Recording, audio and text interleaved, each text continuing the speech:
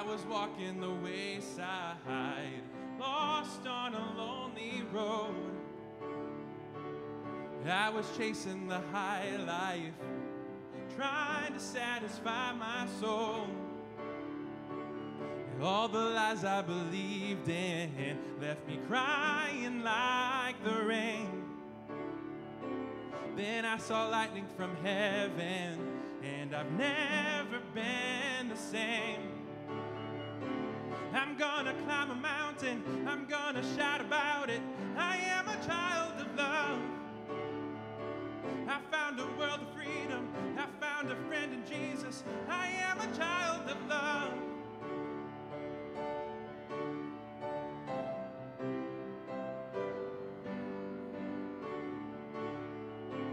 I felt the sting of the fire, but I saw you Just when I thought it was over,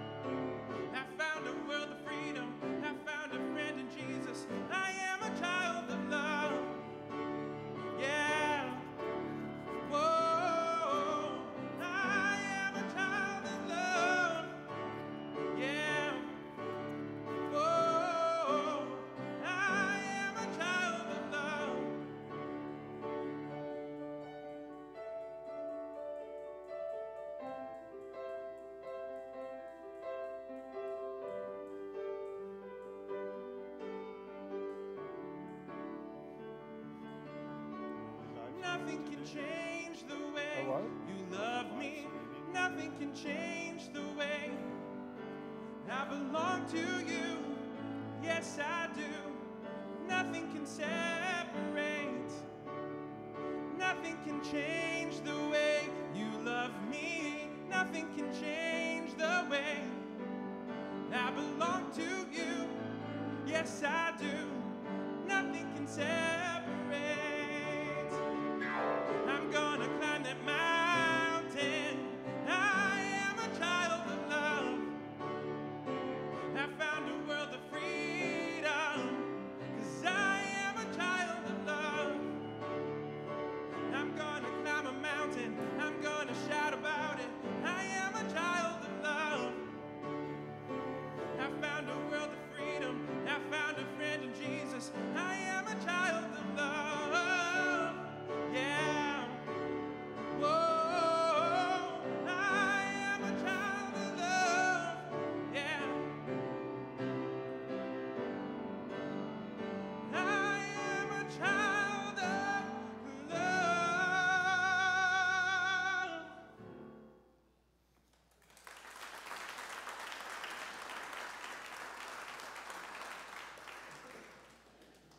Good morning, everyone. Can you hear me out in the back? John, you're okay? Good. Excellent. Well, that's a, an excellent way to start our worship. And today is a very special day. Today we are live streaming for the first time. So, uh, welcome to all of you who are with us virtually today. And we really uh, hope that you find our worship inspirational and faith giving. So let us begin with the confession and forgiveness. Please stand. Blessed be the Holy Trinity, one God, the God of manna, the God of mercies, the God of miracles. Drawn to Christ and seeking God's abundance, let us confess our sin. God, our provider, help us. It is hard to believe there is enough to share. We question your ways when they differ from the ways of the world in which we live. We turn to our own understanding rather than trusting in you. We take offense at your teaching and your ways. Turn us again to you. Where else can we turn? Share with us the words of eternal life and feed us for the life in the world. Amen. Beloved people of God and Jesus, the manna from heaven, you are nourished and fed. By Jesus, the worker of miracles, there is always more than enough. Through Jesus, the bread of life, you are shown God's mercy. You are forgiven and loved into abundant life. Amen. The grace of our Lord Jesus Christ, the love of God, and the communion of the Holy Spirit be with you all.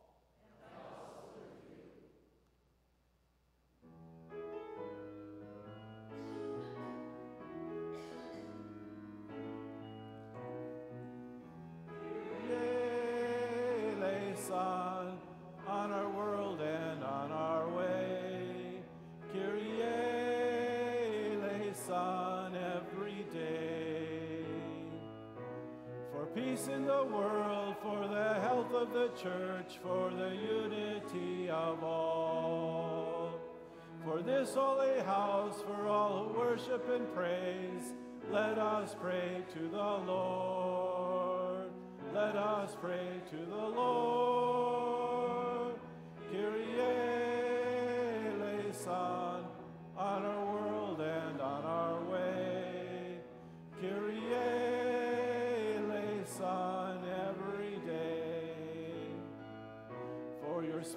To guide, that you center our lives in the water and the word that you nourish our souls with your body and blood.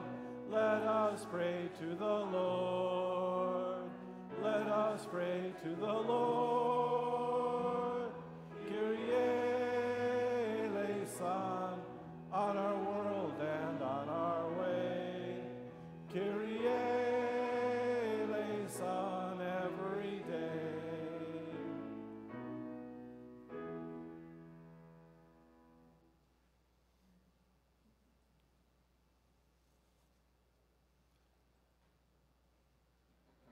Now we will uh, please be seated and we will have our first reading.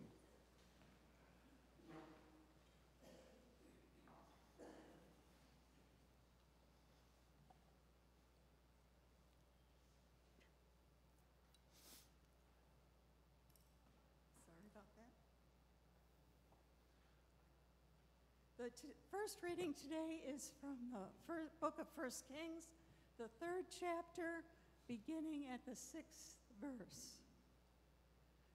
Solomon answered, "You always, you always showed great love for my father David, your servant, and he was good, loyal, and honest in his relation with you."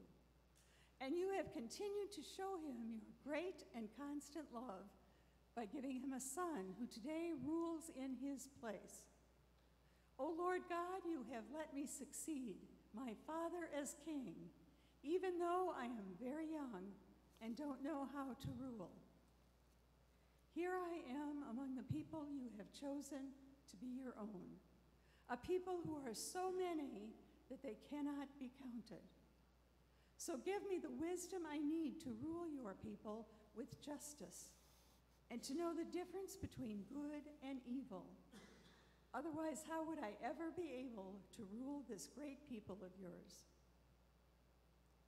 The Lord was pleased that Sol- Solomon had asked for this, and so he said to him, Because you have asked for the wisdom to rule justly, instead of long life for yourself, or riches, or death of your enemies, I will do what you have asked.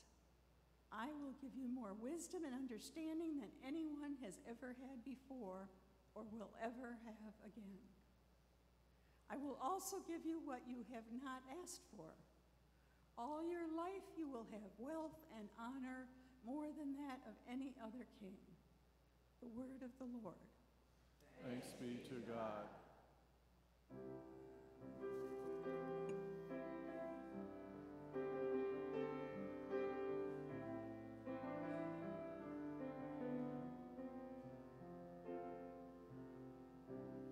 Everybody falls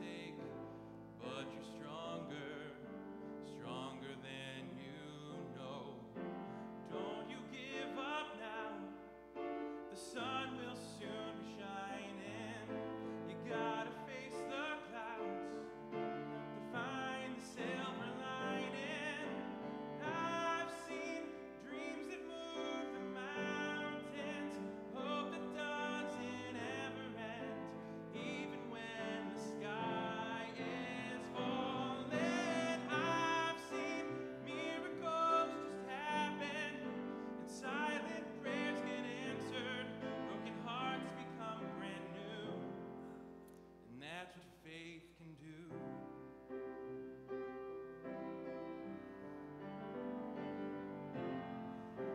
It doesn't matter what you've heard, impossible is not a word. It's just a reason for someone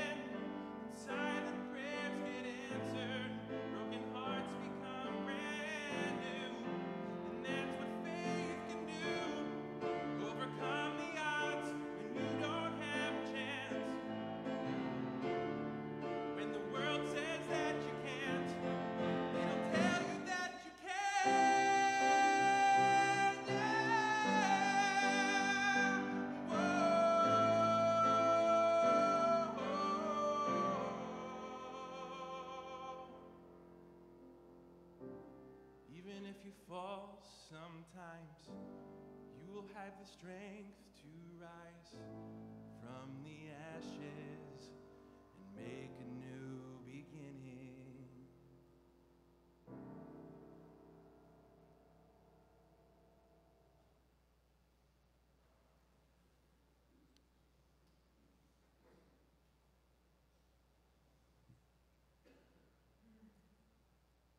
second reading this morning is from the fifth chapter of Ephesians, beginning at the 15th verse.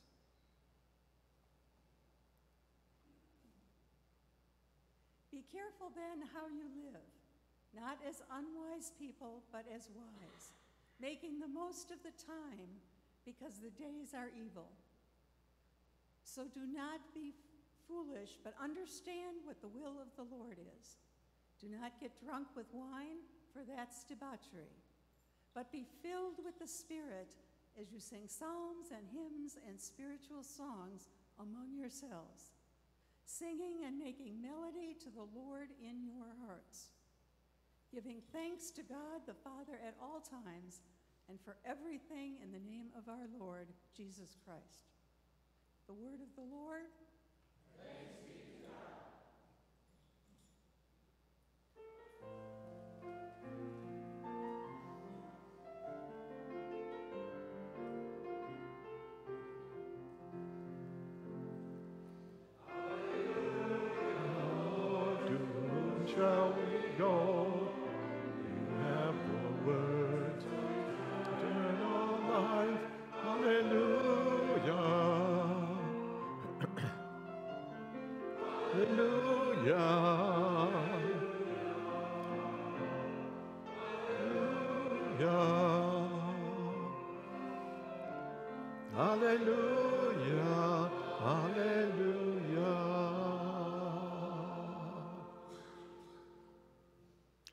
Our gospel reading today continues readings from uh, the evangelist John, all about Jesus as the true bread of life. So we're going to be hearing today the Holy Gospel according to St. John in the sixth chapter.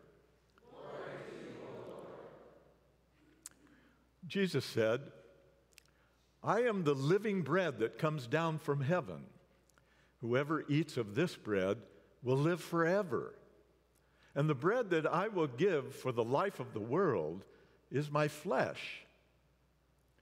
The Jews then dis- disputed among themselves, saying, How can this man give us his flesh to eat? And Jesus said to them, Very truly, I tell you, unless you eat the flesh of the Son of Man and drink his blood, you have no life in you. Those who eat my flesh and drink my blood have eternal life, and I will raise them up on the last day. For my flesh is the true food, and my blood is the true drink. Those who eat my flesh and drink my blood abide in me, and I in them. Just as living the Father sent me, and I live because of the Father, so whoever eats me will live because of me. And this is the bread that came down from heaven, not like that which your ancestors ate and then died, but the one who eats this bread will live forever. The gospel of the Lord. Praise you, Christ. Please have a seat. And um, today I want to talk to you more about the uh, middle reading and the first reading.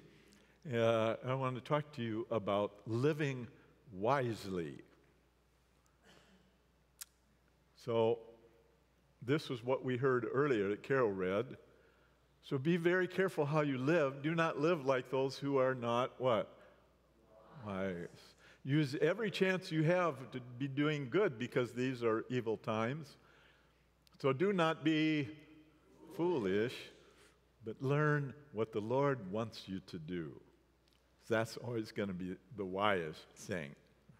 So, um, do you live wise? Uh, sometimes.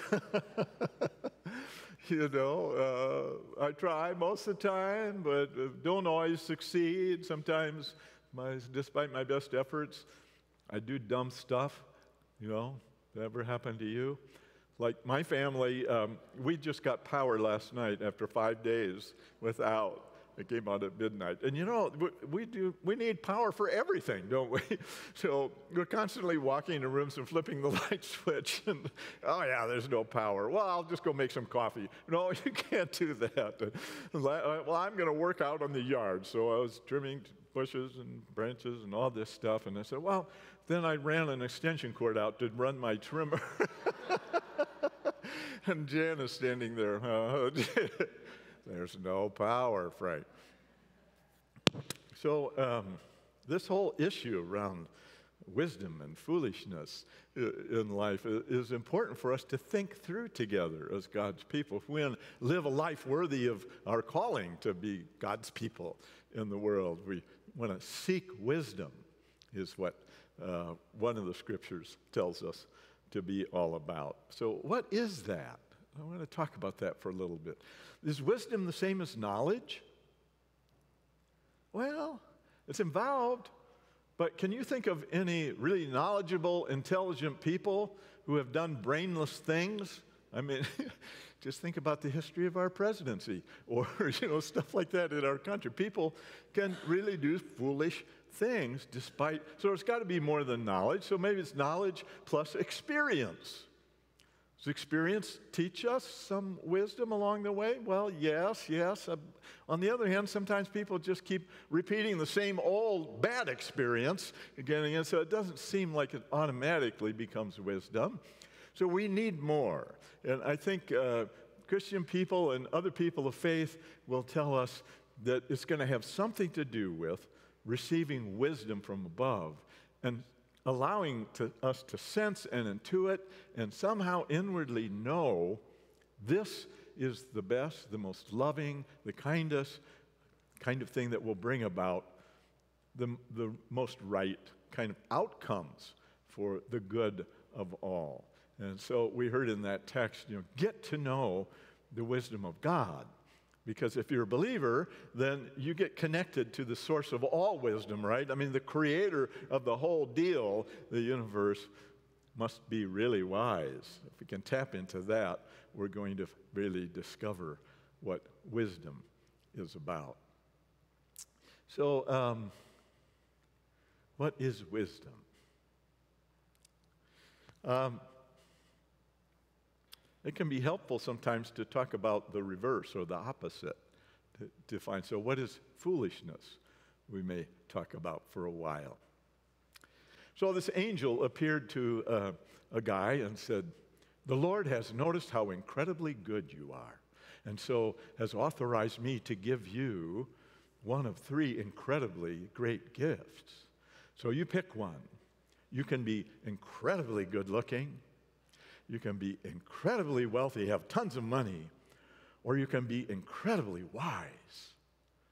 And the man thought, wow, Solomon, he was the, he chose wisdom and he did great. So I choose wisdom. And poof, the angel disappeared.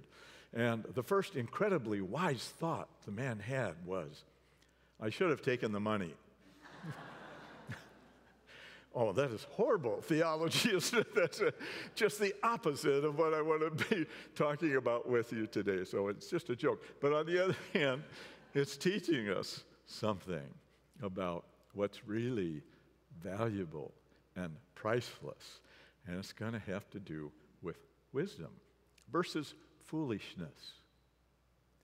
Really, um, foolishness is born out of being fooled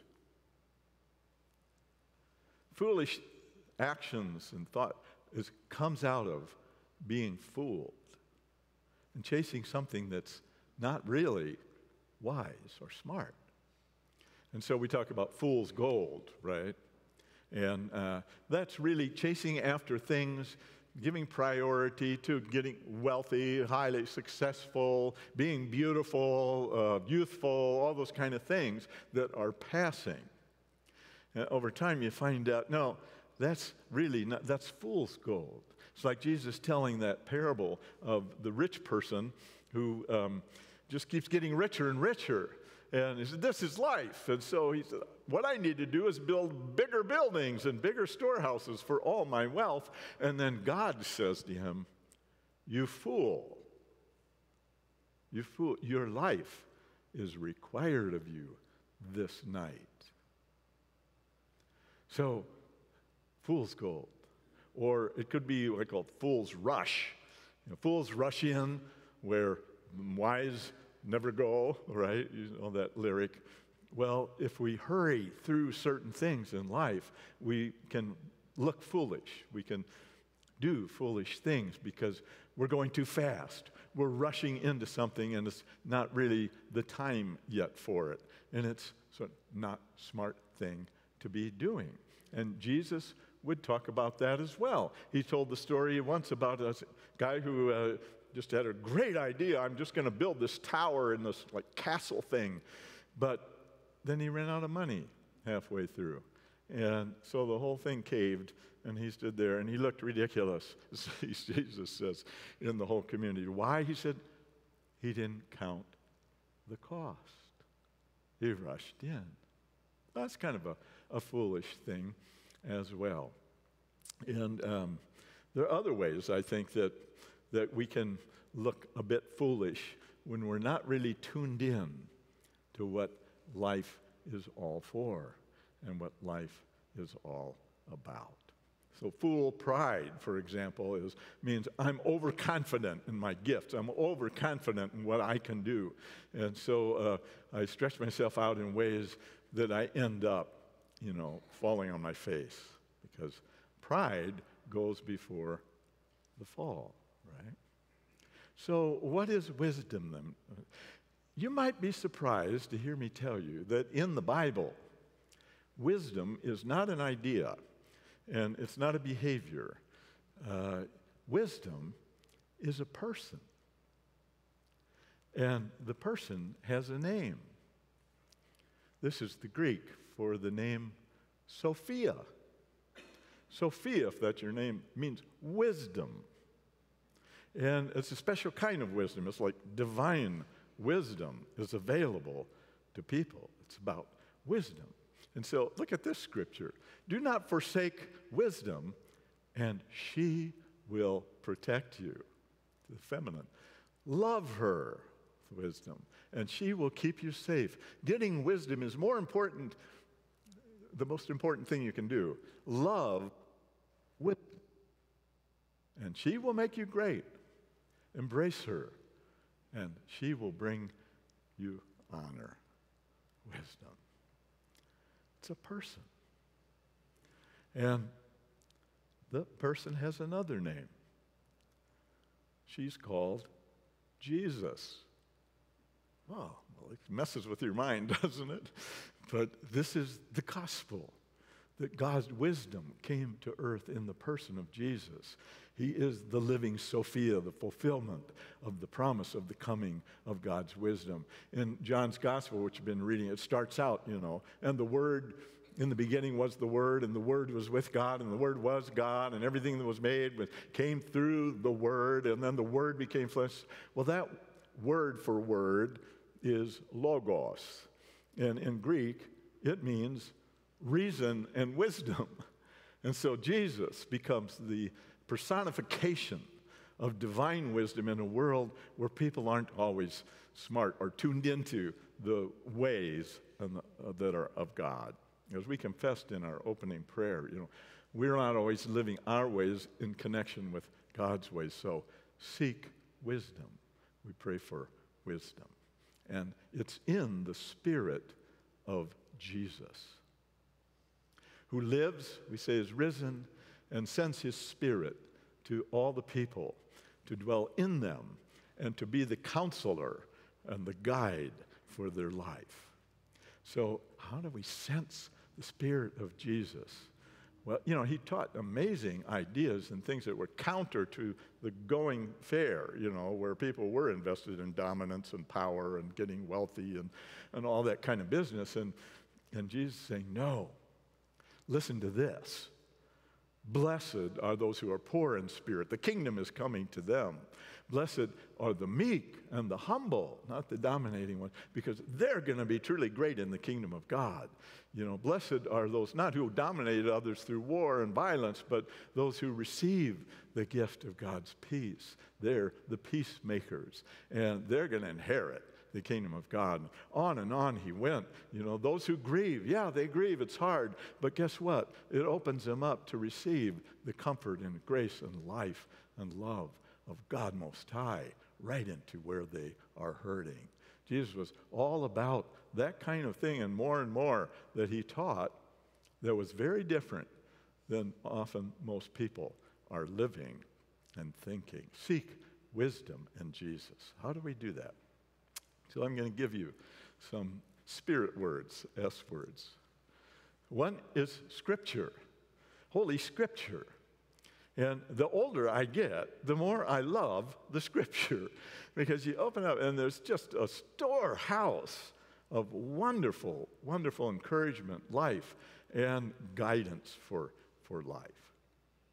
And yet, uh, the Bible, is it an answer book?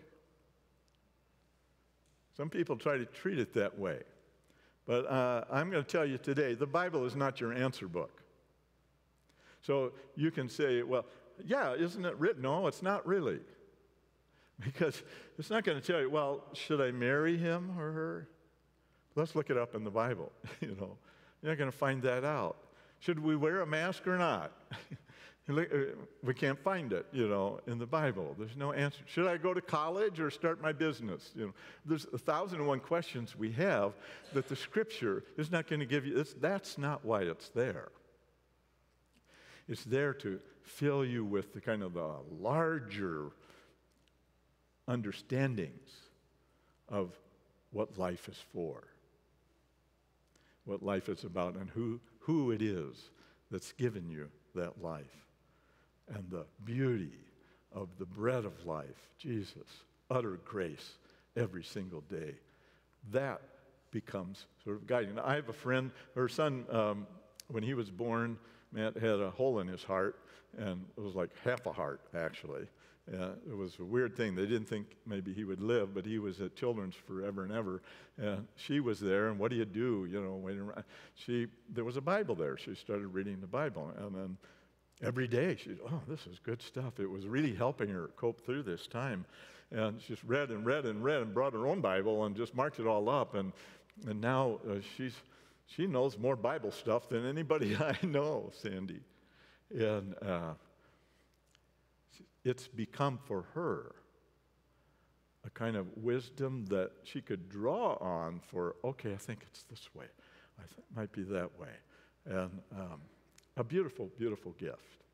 The scripture uh, teaches us spiritual practices like worship and prayer. Those two things. Why? Because when you are worshiping God, because above all things and through all and in all things, you are not putting your mind and your focus on all your problems and, uh, and all of that. It helps you give up all the foolish ways, the foolishness of chasing after things that aren't really what life is for.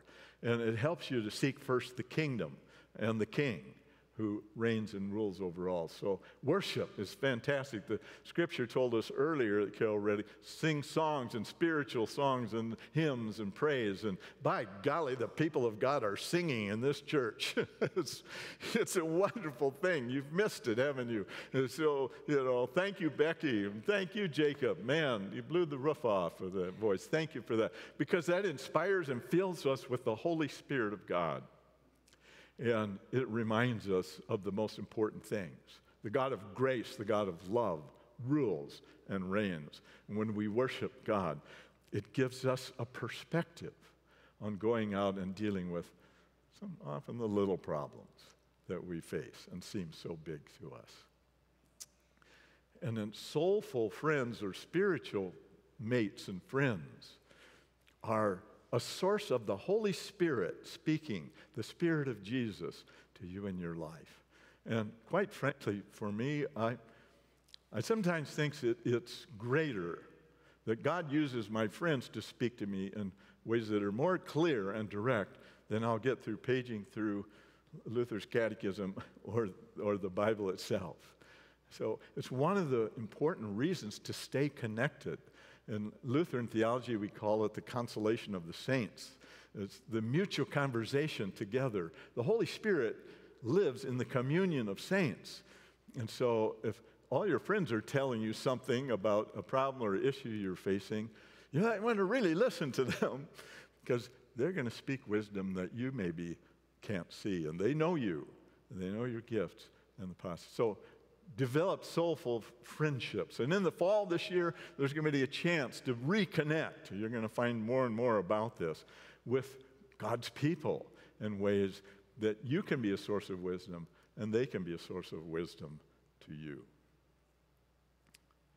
And the last one is one that's harder to talk about, but God uses suffering in the life of God's people in order to open up their understanding and insight of the ways of God in the world.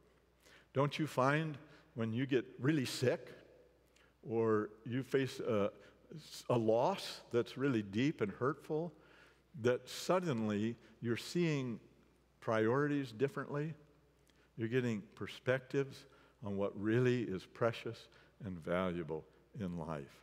And it can happen through suffering. So, to a Christian, suffering is not an endless evil, it can be a source of grace and life. In fact, we make the cross the center of our faith, which the Apostle Paul said, you know, is ridiculous. It's foolishness to the Greeks, to, to the thinkers. How can that be? And yet, to God, it's the power of God to save us. And so we go to the cross, and then we see it's empty, and we have the power of Jesus in the resurrection. So um, we help each other through that time. But we also trust God can use anything and everything to wise up the people of God for God's purposes and God's mission and God's service until the coming of God in the fullness of time. So, what are we saying today? More than anything else, the readings are telling us seek wisdom. It's more precious than gold. Amen?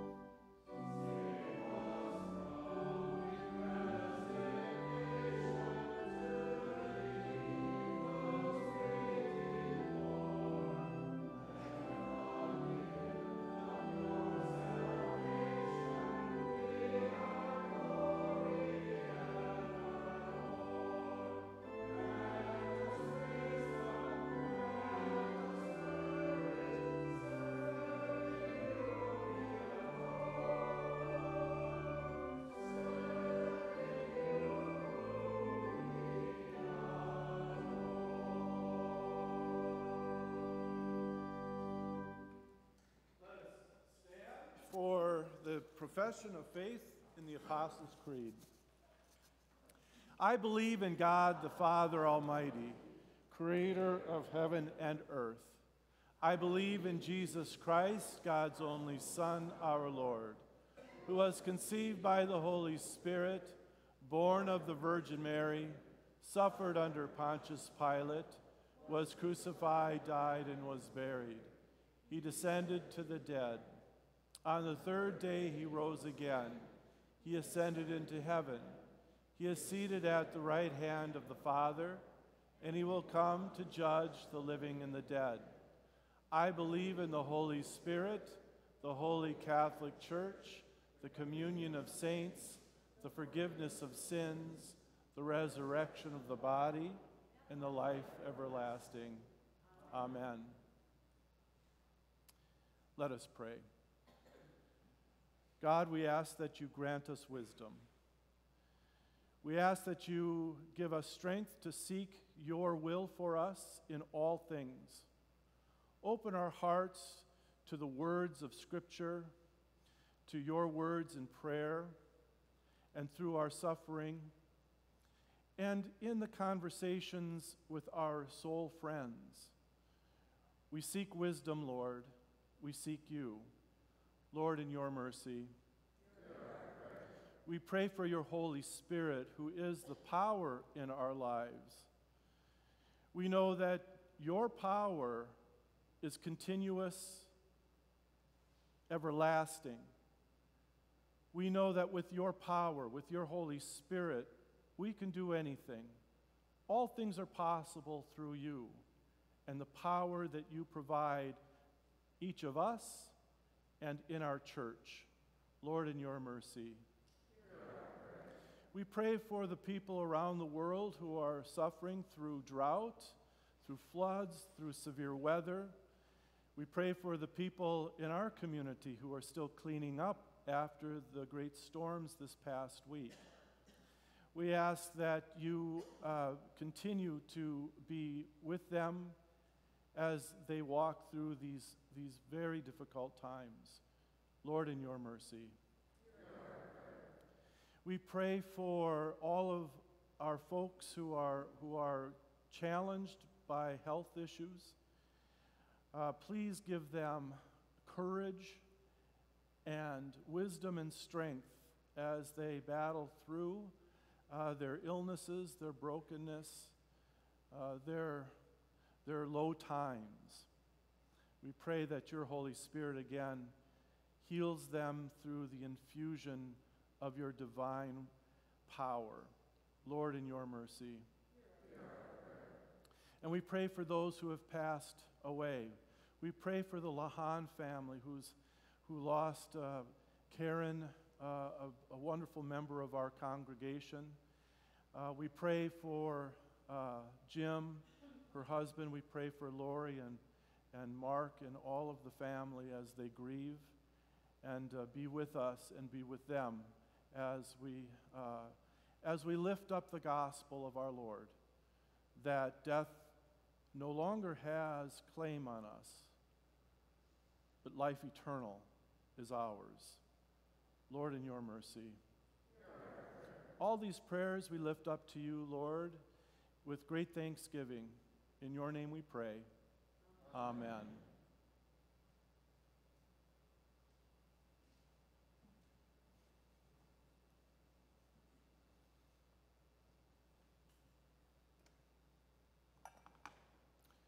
The Lord be with you. Lift up your hearts. Let us give thanks to the Lord our God. In the night in which he was betrayed, our Lord Jesus took bread, broke it, gave thanks, and gave it for all to eat, saying, This is my body given for you. Do this for the remembrance of me.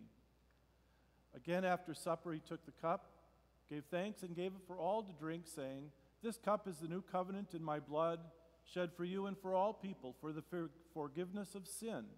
Do this for the remembrance of me. Now, please join me in praying the Lord's Prayer. Our Father, who art in heaven, hallowed be thy name. Thy kingdom come, Thy will be done on earth as it is in heaven. Give us this day our daily bread, and forgive us our trespasses, as we forgive those who trespass against us. And lead us not in temptation, but deliver us from evil. For thine is the kingdom, and the power, and the glory, forever and ever. Amen.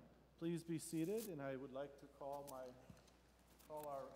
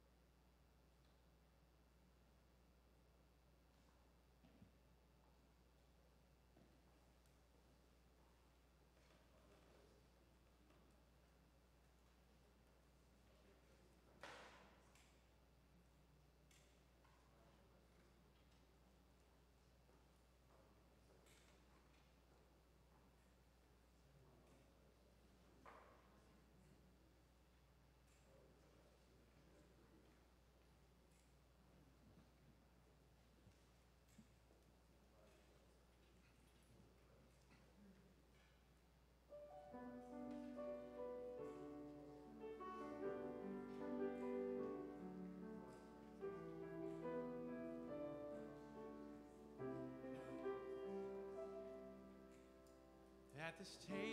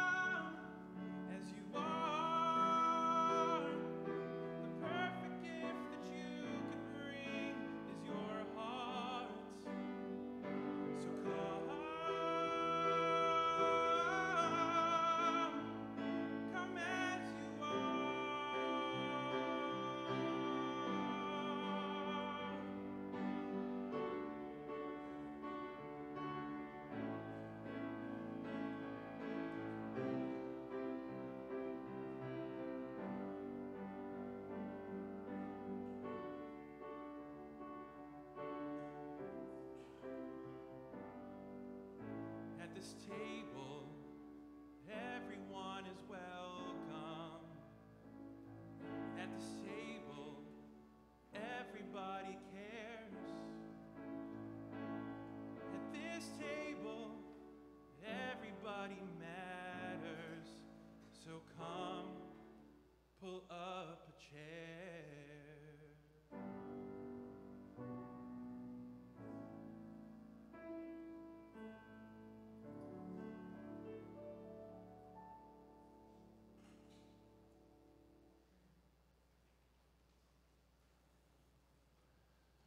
May this body and blood of our Lord and Savior Jesus Christ strengthen us and keep us in his grace. Amen. Now for a couple of announcements. Well, uh, speaking of lack of power, the church, most of the church was out of power since Wednesday, rest- was restored yesterday. The sanctuary area didn't lose power. We're on two power grids. And so, um, yeah, so, you know, that's a good thing. Uh, you know, and I think that, you know, dovetailing on Pastor Frank's uh, sermon a little bit, I mean, I think there are two power grids going on in the world. Po- you know, God's power and our own power. And I know which one uh, I think I'm going to rely on. I'll try anyway. Um, today is a very special day. Uh, Pastor Paul Balgren ha- is retiring after about 38 years of ministry. And I know some of our folks are in Grafton this morning to celebrate with, with Pastor Paul and his wife for uh, 38 years of very faithful uh, service to St. John's and to Grace uh, in Grafton. So we celebrate with him as well. Thank you, Jacob, for your wonderful music. Uh, you're hired. Um, we'll see you next week. Um, a couple of other things that Pam wrote for me, and it's in my, my notebook here.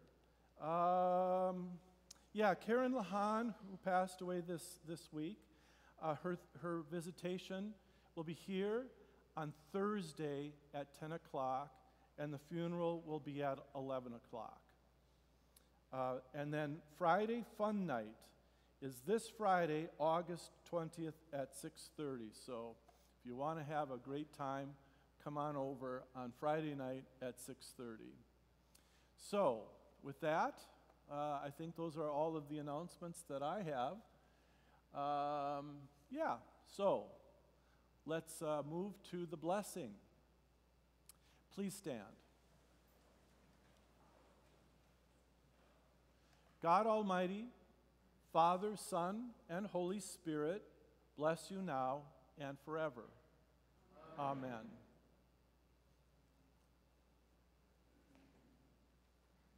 Oh,